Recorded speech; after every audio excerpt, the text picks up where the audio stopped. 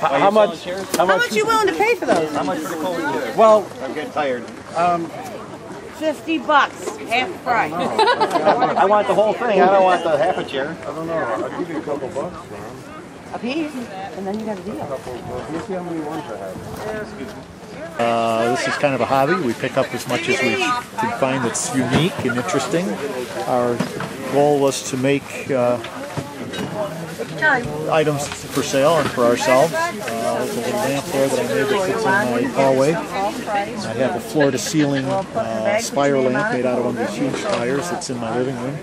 And, uh, I've found more pieces than we know what to do with. He loves them. And and where it's just right around uh, upstate New York, Adirondacks here. Every piece here is from the Adirondacks. Very nice. That's where